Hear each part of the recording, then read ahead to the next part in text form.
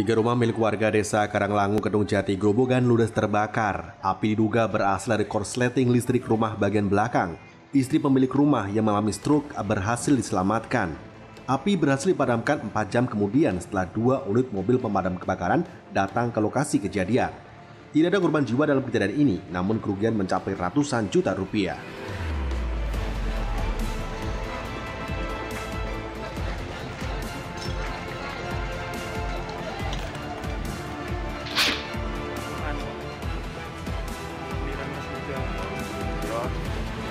Jajaran Polres Sukoharjo berhasil mengungkap dugaan kasus pencurian aset Dinas Pertanian dan Perikanan Sukoharjo berupa pompa air.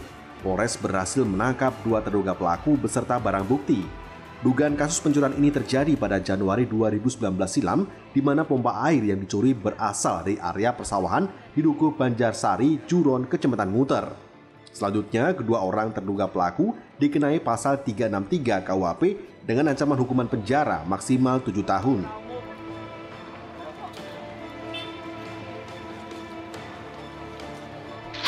Orang masalah aku gambare iku lho.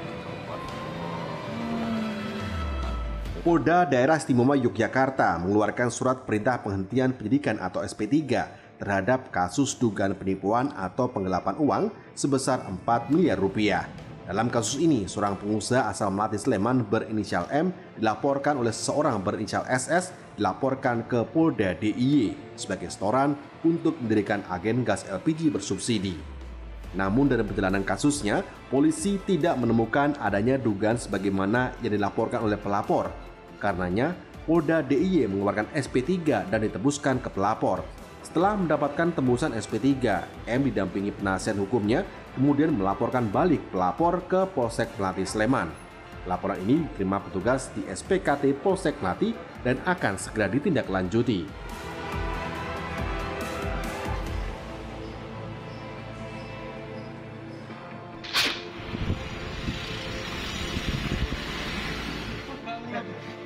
Tim Reskrim Polres Demak berhasil membekuk predator seks yang menghantui para orang tua yang memiliki anak gadis di Demak. Tersangka tega memperkosa dan mengambil barang berharga milik korban yang masih duduk di bangku SMP. Dari hasil penyelidikan polisi, baru dua korban yang melapor. Dari tangan pelaku, petugas berhasil mengamankan baju korban, ponsel, lakban, serta satu unit sepeda motor.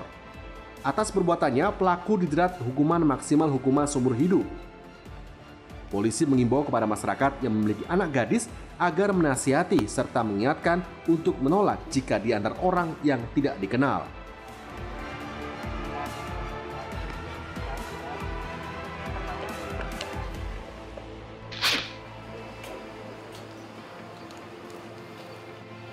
Polres Semarang berhasil menangkap pria paruh baya sekaligus otak penganiayaan terhadap delapan pemuda di dalam hutan di Kabupaten Semarang. Aksi penganiayaan dilatar belakangi kekesalan tersangka atas ulah para korban yang diduga melecehkan anak gadisnya saat di ruang ganti sebuah kolam renang. Bersama korban, polisi juga mengamankan empat rekannya yang ikut dalam aksi pengeroyokan tersebut. Para tersangka dijerat pasal 170 KUHP tentang pengeroyokan hingga mengakibatkan orang lain terluka dengan ancaman hukuman 3 tahun penjara.